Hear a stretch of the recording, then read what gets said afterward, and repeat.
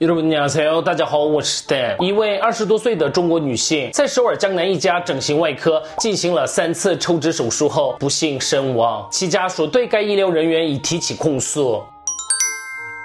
照片中的年轻女性是二十九岁的中国人黄某，她于去年十一月入境后，在首尔江南的一家整形外科接受了抽脂手术。从入境的第二天开始，她在两周内分别对腹部、手臂和大腿进行了三次手术。手术后，黄某感到疼痛，尤其是在第三次手术后的第二天，她因手术部位疼痛而行动困难，于是前往医院要求住院治疗。在医院的恢复室，医护人员对她进行了冰敷和抗生素注射处理，但是在十点左右。除了黄某和一名看护之外，其他医护人员们都离开了。黄某在恢复室度过了一晚，情况恶化。第二天也是由看护拨打了一一九求救，他被紧急送到了大学医院。到达大学医院时，他的伤口已经发生感染，并发展成肌肉坏死的坏疽性腱膜炎，进而恶化为败血症。经过一个多月的挣扎后，黄某不幸离世。家属表示，他在临终前恢复意识时说的最后一句话是：“真的很痛。”对此，他们感到深深的愤怒和悲痛。用法律对也可以，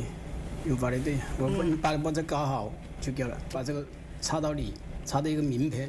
家属们对该整形外科院长提出业务上过失致死和违反医疗法的指控。家属们的代理律师表示，在相当痛苦的情况下向该医院医生求助，但没有得到适当的治疗或转送到大型医院，导致病人连接受最后一次治疗的机会也被耽误了。警方计划后天对黄某进行验尸，并正在调查手术室是否有监控。而 SBS 电台前往该整形外科寻求解答，并进行电话询问，但医院方面拒绝提供任何回应。然而，根据医院提交给家属的医疗记录中显示，在黄某接受第三次手术的隔天，医院方面采取了适当的治疗，症状有所改善，并计划进行血液检查，以检测是否发炎。但因患者不配合，导致延迟抽血。我们来看一下韩国网友们的反应：在异乡失去孩子，这种痛苦是难以衡量的。愿逝者安息。如果是败血症的话，看来问题不在于医生的能力，而更像是感染问题。究竟是如何管理的呢？唉，就是因为发生了太多这种冤枉的。事故，所以手术室的监控一定必须的。医疗事故发生后，医疗人员总是试图用各种借口逃避责任。不仅是抽脂手术，所有为了美容目的的手术都很危险呢。留在自然的状态，看起来更自然和漂亮。我们透过以前的案例很清楚，医疗记录随时可能根据医护人员的需要被修改或记录。真的气死我了！每次整形外科手术出现死亡事故时，医生通常都不会受到严格的处罚，医院也继续经营下去。江南整形外科，请公开名字。夺走了宝贵的生命，就应该承担责任。愿逝者安息。女儿在临终之前说的最后一句话，太令人心痛了。想象一下家属的感受，真的让人心碎。愿逝者安息。